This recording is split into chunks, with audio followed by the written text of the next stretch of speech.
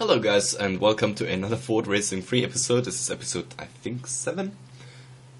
I'm not entirely sure though, but yeah, this is it's time now for the global gears or foc- Focus versus GT. But I think I will go Hmm, yeah. I will go with the global gears. Although I have the gears disabled, I'm driving automatic. Now, um Well, this looks interesting. I think Mountain Drive, for example, is off-road, while the Lost Village... Oh no, no, no. Ignore what I just said. It's all um, not off-road. Um, I believe. Yeah, looks like it. And uh, we got five tracks again. Well, let's just see. Last time I drove this car, the Racing Puma, which was okay. This one looks alright as well. Mhm. Right, so I'm kind of. They do have the same uh, statistics. I somehow want to drive this car though. It looks cool. Um, yeah, just take the white one this time with the red stripe. It's kind of sporty. This car has a good acceleration. That's that's always a great thing to have. Now, race type boost on the racetrack, of course. Ah. Okay, let's do this.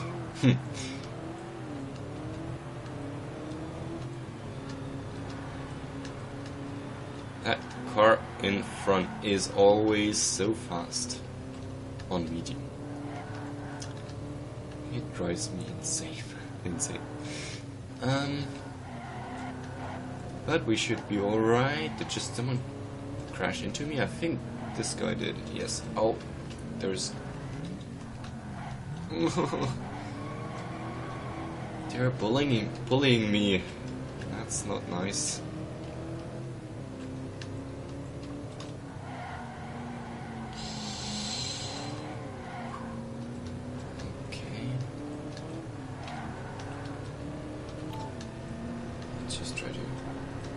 Get past them. Alright. Yeah, that's the spirit. Mhm. Mm, oh. Okay, that was not intended. Not exactly, at least. Um.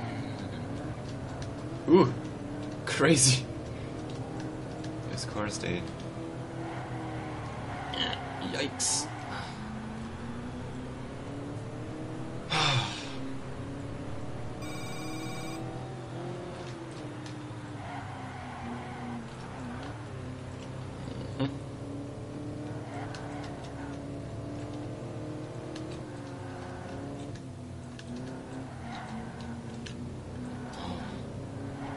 hate it when they do that. I hate it when they come from behind and just...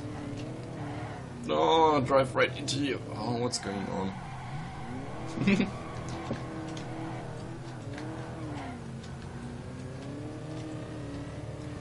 Alright.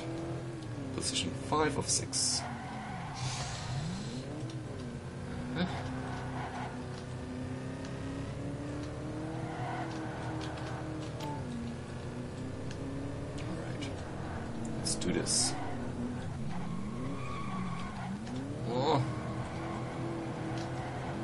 Okay, position 5 or 6. That's looking much better. First car is like really fast and way ahead of everyone else. Okay, let's just ac- activate this final boost for this round. For this lap, I mean.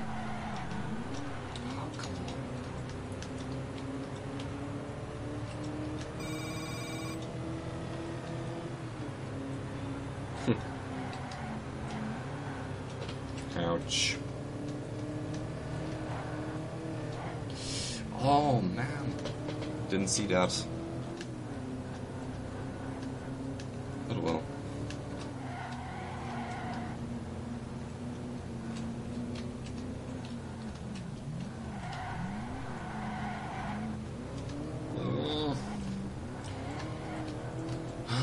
I don't really like the way I drive at the moment. You can probably tell. Um...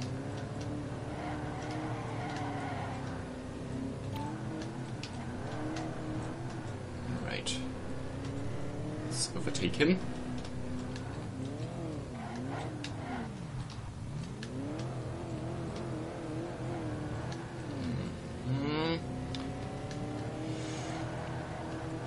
Doing okay so far.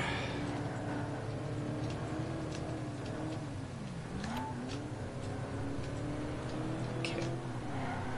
Let me just try to get this right. Oh, well, that was a surprise. Didn't expect that to happen, but I won't complain. nice. Next round.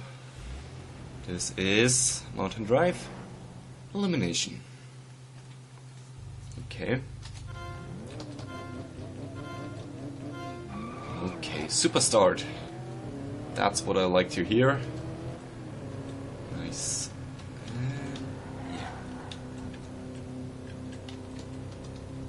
Once again, the red car in the front is way ahead of the group.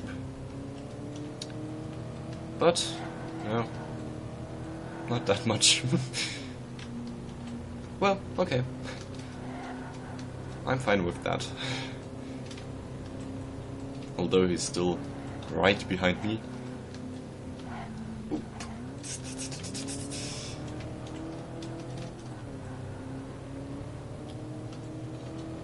Jump. Whee! 25 meters. Right. Looking good. Very good. Okay. Now. Mm-hmm. That's the way I want it.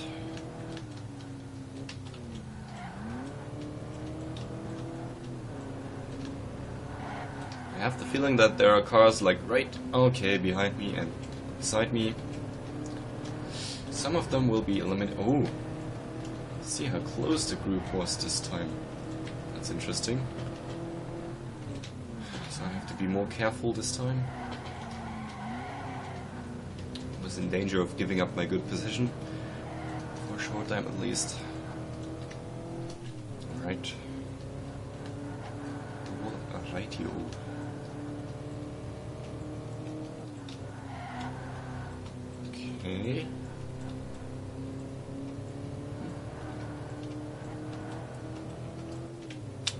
Jump.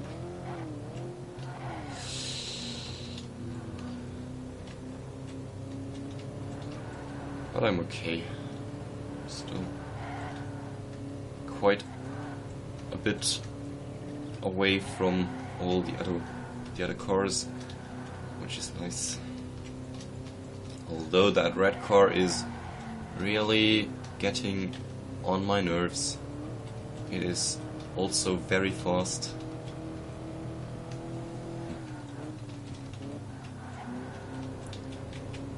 Oh. Okay. Eliminated two other cars, the Falcon XR8 and something else. And I'm stuck with a Thunderbird from 2003. Um, yeah. Story of my life.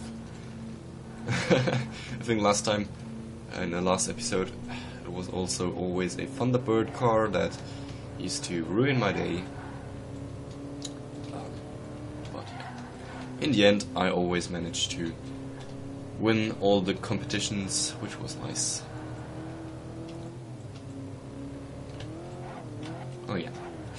Oh, come on. What what is this? I always drive into the the border here and it the railing, the fence, whatever. Kind of annoying. I think it's the way I um, hit the ground. I don't know. Perhaps my what would that be? Uh, don't ask me. I think my left side touches the ground first, so it sort of uh, throws me into the um, fence. Okay, first, once again, that's nice. Alright, this gives me 20 points, and yes, the Thunderbird is on position number 2. Next round. This is the Lost Village. Oh no. Don't like this track. And it's Boost. Boost is fun. Alright, Superstart once more.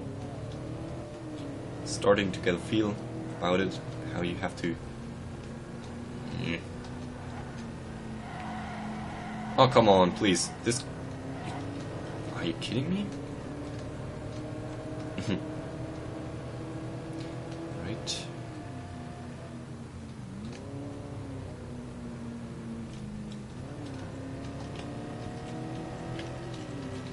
Oh.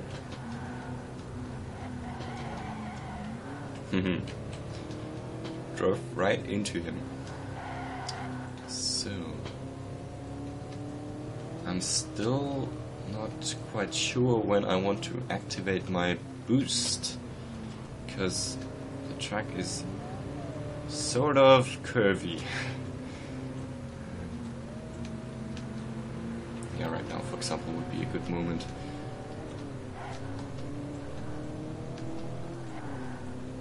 The car in front of me had the same idea.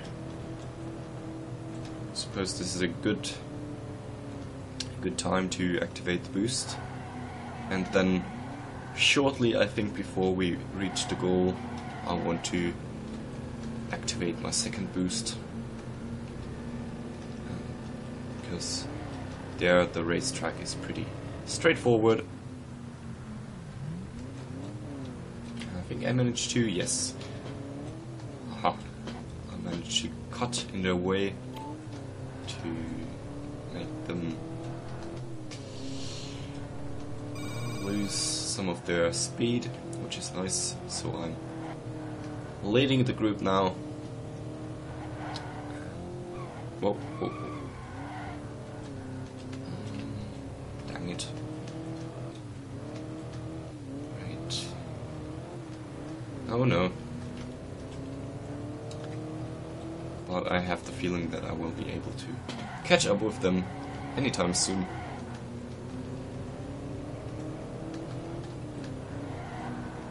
Okay.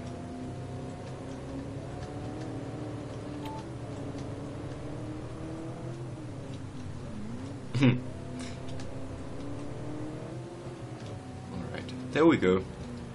Position number one again. Uh, what am I doing?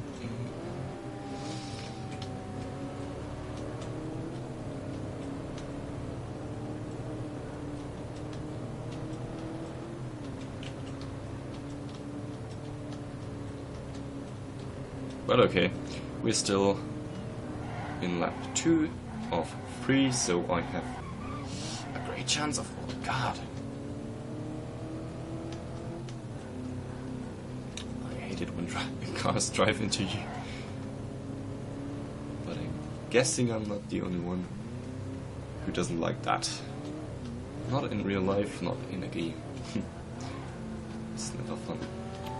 But driving into other cars is fun. Just if they do it with you, it's, it's not fun.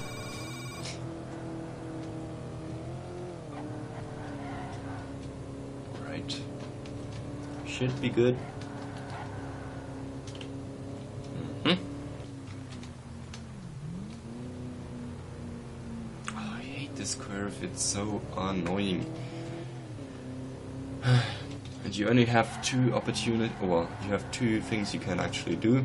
You can slow down, but that's something I don't want to do. Or you can just drive right into the the, the signs. Um, which is also not the best thing to do, of course. But yeah, since you can't take damage in this game, I thought, why not?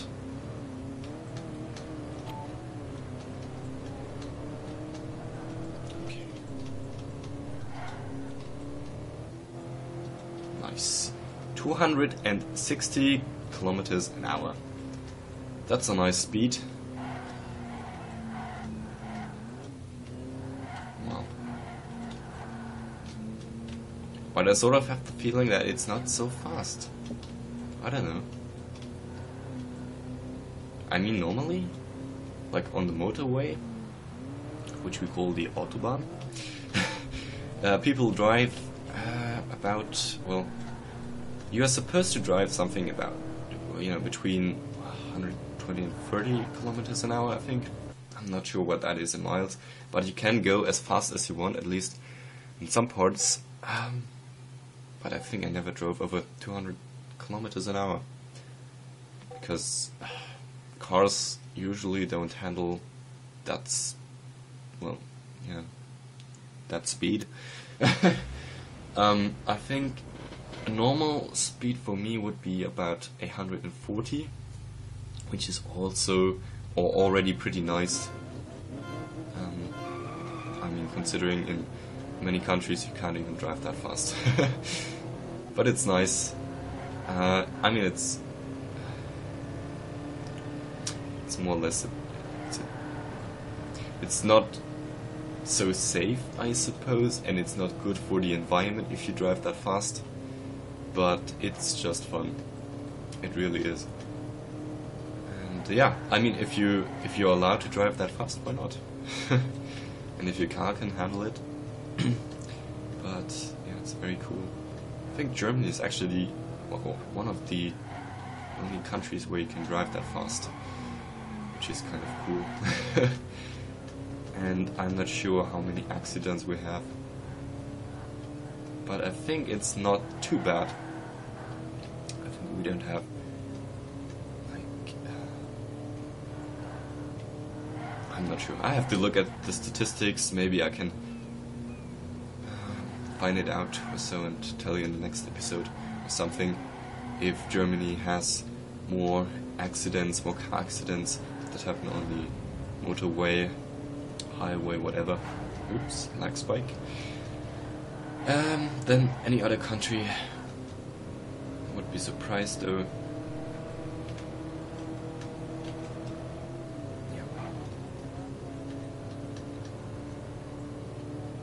Because people tend to drive very safely, um, although they're um, driving at high speed. Um, for example, I was in France, and the bus drivers in Paris or suburbs of Paris, they always drive very. Um, I don't know how, how, to say it. It's you don't really have the um, feeling that you are in danger or something, but they do have a very fast and not not really yeah, a bit aggressive driving um, style. Ouch. Come on. So once I sat in the bus and it was like driving at, I don't know, it wasn't that fast, but still, it was driving and there was the bus, bus stop ahead and there was also a bus waiting for the passengers to get, get on. And I was in the second bus and he was like driving and not um, you know he's he was just driving a normal speed and he did such an insane brake and he stopped I don't know 10 centimeters behind that other bus. It was crazy. But uh, very good drivers very good drivers the French. I don't know. Also Italy is fun if you drive there for example Rome. Um, but something I noticed is that many cars there have like little scratches and oh little scratches on the sides or something.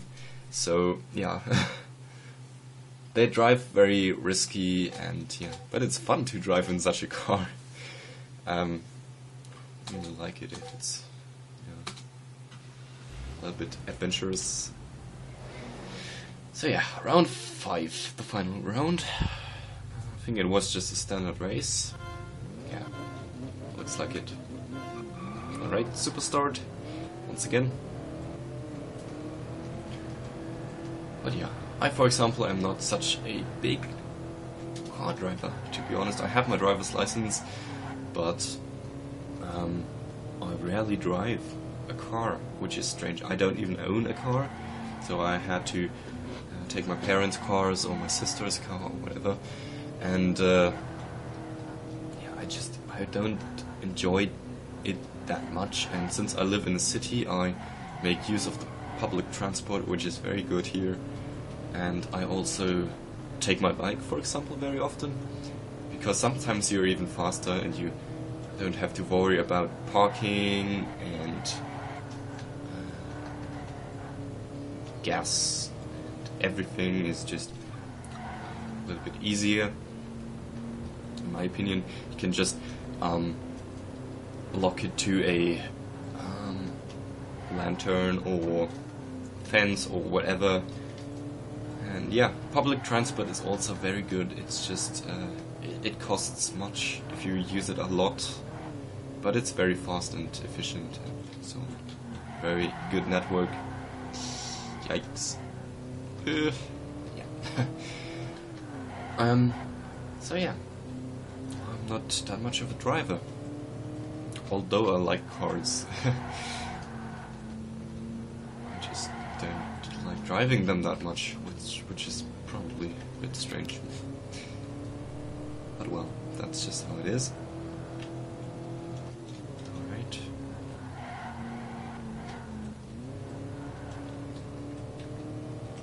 We are doing good. Well, at least. Yeah. But, uh, I would probably drive more often if I would live in the suburbs or on the countryside, the countryside uh, just because uh, things like public transportation might exist, but not be so good because it would just take a lot of time to get into the city or to shopping malls or whatever, and um, riding a bike um, in a village or suburb or whatever. Well, yeah, might work if you have to go to work or something or to school or anything. But yeah, in a town it makes much sense. For example, I've been to Amsterdam, and they really have a lot of bikes.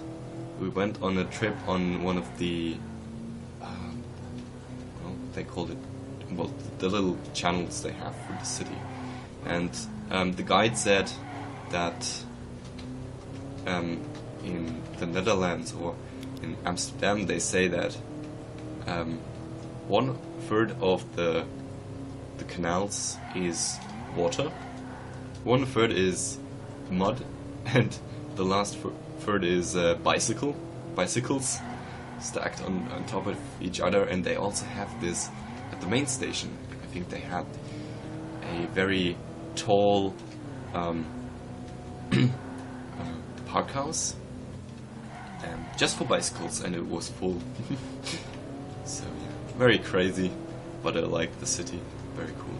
The Netherlands are a fun country, not just Amsterdam or North Holland, but also, for example, I've been to Den Haag, which is also very nice. Um, it's totally different than um, Amsterdam, but still fun. Uh, very nice country in general But yeah, it's very cool. So if you're visiting Europe, you should definitely definitely check that out. And yeah, also something I noticed in Amsterdam. I mean, for a town with a harbor, red light district, and I don't know, some of the drugs are legal in the Netherlands. It seemed surprisingly secure and friendly and open, uh, which is very cool. I like it. I like how they manage that. I mean, you could say that they have problems and stuff, but uh, I didn't at least uh, experience them or see them or something. very nice town, very friendly and international as well. So yeah, won this race as well, which yeah brings me to the end of this episode. Global Gears final results first place, nice. Mm-hmm. Let's just skip that. Um, car collected the 2003 Falcon XR8 and the color and the 2004 Mondeo ST220. Alright, and a cup collected as well. And competition unlocked original races. This is going to be fun. And design concepts as well. Those two. And they're both on hard already. This one is still medium, but I haven't unlocked it yet. So yeah. Going to see you in the next episode, I suppose. Thanks for watching, guys.